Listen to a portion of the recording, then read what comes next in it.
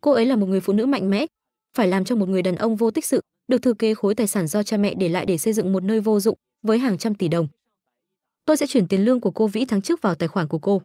Tôi nói và cắt đứt cuộc gọi mà không một chút cảm xúc, sau đó treo máy. Việc dự vĩ rời đi không ảnh hưởng tâm trạng của tôi chút nào. Mỗi người có một ý nguyện riêng. Bây giờ cô ấy đi rồi, muốn quay lại sau này chỉ là mơ ước. Lúc này, một người đàn ông to lớn trong bộ vest màu đen đi vào biệt thự. Tôi cầm tách trà và hỏi, công việc đã được thực hiện như thế nào? Anh ta cười đen tối và trả lời, ngài có tin tưởng vào khả năng của tôi không, lão đại? Trương hổ cười đen tối và nói, chúng tôi, trên trăm anh em, đã khắc hình xăm quỷ. Và tất cả anh em đều là trẻ mồ côi, không có bất cứ sự vướng bận nào. Với lão đại, chúng tôi tuyệt đối trung thành. Anh ta nói thì thầm, lão đại, liệu tận thế có đang đến gần không? Tôi trả lời, đúng vậy, tôi không che giấu điều đó trước anh. Vì đó là người anh em đã cứu tôi một nhát dao. Không có gì lạ khi lão đại hành động quyết liệt như vậy. Nhưng liệu điều đó có liên quan đến việc khắc hình xăm không? Trương hổ trông ngạc nhiên. Anh không nghi ngờ lời tôi. Đến lúc đó, anh sẽ hiểu.